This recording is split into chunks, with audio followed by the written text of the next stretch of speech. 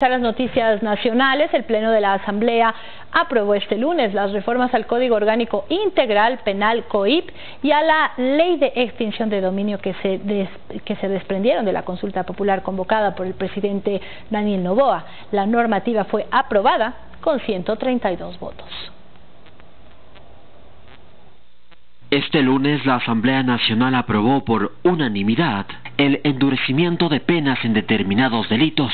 Los legisladores mocionaron la aprobación del proyecto de reformas al Código Orgánico Integral Penal y a la Ley de Extinción de Dominio en aplicación a los resultados de la consulta popular del 21 de abril de este año. Con esto los siguientes delitos ahora tendrán las siguientes penas de cárcel. El delito de terrorismo pasa de 10 años de prisión a 26 años. El tráfico de drogas pasa de 13 años a 26 años de cárcel. El secuestro se sancionaba con 22 años de prisión y ahora pasa a 26 años de cárcel. El sicariato antes era de 26 y ahora pasa a 30 años.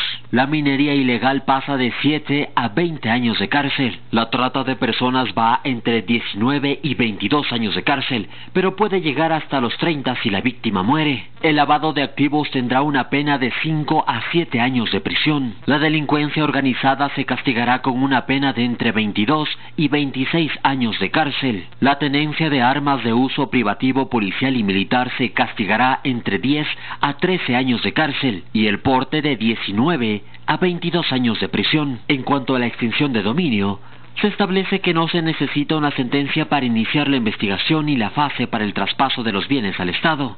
Jonathan Cuenca, Telerama Noticias. Y en una